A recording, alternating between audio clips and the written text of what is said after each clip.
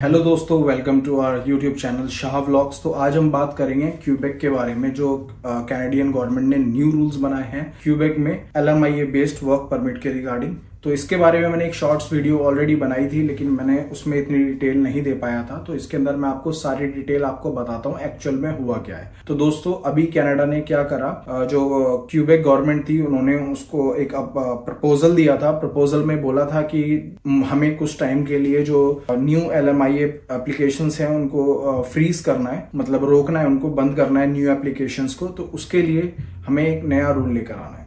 तो उन्होंने उसमें कहा कि अगर जो L M I A based जो आपकी वो जॉब है जिसमें वो अप्लाई कर रहे हैं, उसका जो वेज है 27.47 डॉलर से कैनेडियन डॉलर से अगर कम है पर आवर में तो वो एप्लीकेशन वो एक्सेप्ट नहीं करेंगे, ठीक है? इसके अलावा ये जो रूल है नया 3 सितंबर 2024 से लागू हो जाएगा थर्ड ऑफ़ सितंबर 2024 से ये लागू हो रहा है। अगर आप मॉन्ट्रियल रीजन में रहते हैं, जो मॉन्ट्रियल रीजन है क्यूबेक का, ये सिर्फ़ वहाँ पे लागू हो रहा है और कहीं बाकी जगहों पर नहीं हो रहा। अगर आप बाकी जगह में अप्लाई कर रहे हैं एलएमआई बेस्ड जो पोजिशन है उसके लिए तो आप अप्लाई कर सकते हैं। ये सिर्फ़ एक मॉन्ट्रियल रीजन में हुआ है, सब जगह पे नहीं हुआ तो इस चीज़ का आप ध्यान रखें।